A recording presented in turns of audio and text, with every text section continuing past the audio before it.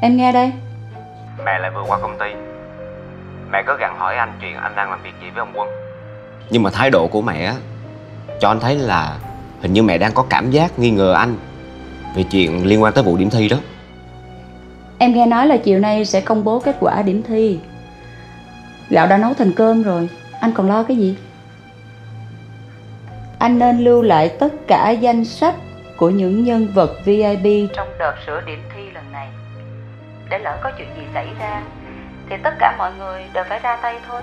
Anh còn gì phải lo? Bây giờ em có qua chỗ anh không? Bây giờ em bận rồi. Chiều nay anh lại bị công an triệu tập Vì vụ liên quan tới nhà máy bánh kẹo. Anh lo quá. Hôm trước đã lấy lời khai rồi. Hôm nay lại triệu tập nữa. Anh hơi căng thẳng quá rồi đó. Thôi được rồi. Đợi đi, em tới rồi mình đi ăn ha Chị nhờ em chút chuyện được không? Dạ. Em đang làm gì hả? à, Em đang nghe nhạc thư giãn một chút xíu thôi. Chị cần em làm gì? Xem giúp chị bản dự thảo hợp đồng này có hợp lệ không? Nhớ xem các văn bản mới nhất liên quan nha. Dạ em làm liền. Chị cảm ơn nha. Chị. Đợi một chút. Em tặng chị nè. Chúc chị sinh nhật vui vẻ. Em làm cho chị bất ngờ đó Sao mà biết sinh nhật của chị vậy?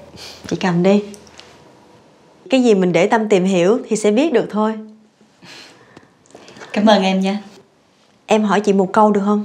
Ừ.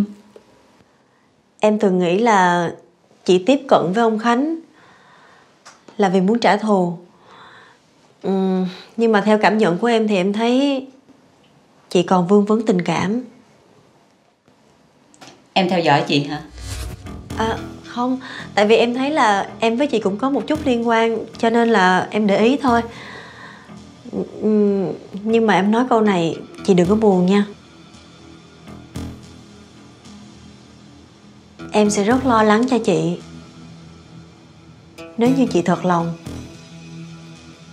Chị nghĩ mình cũng là con người Đâu phải lúc nào cũng hành động theo lý trí được Chuyện chị nhờ em làm sớm sớm giùm chị nha Bây giờ chị phải chạy qua anh Khánh Có một số rắc rối chị không nỡ bỏ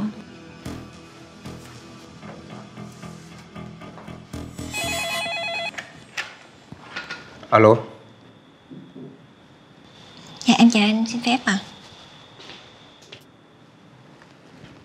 sao em lại gọi vào điện thoại này? Tắt máy đi, để anh gọi lại.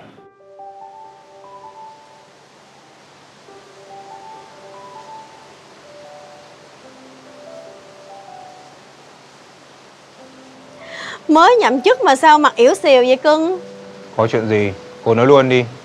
Tôi không có nhiều thời gian đâu.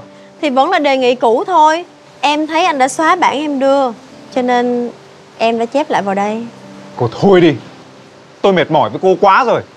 Chấm dứt mọi chuyện đi. Chờ vợ tôi bình phục. Tôi sẽ ly dị với cô ấy. Để cô ấy tự do đi tìm hạnh phúc. Tôi không còn gì để mất. Nên không có việc gì mà phải ngồi đây thỏa thuận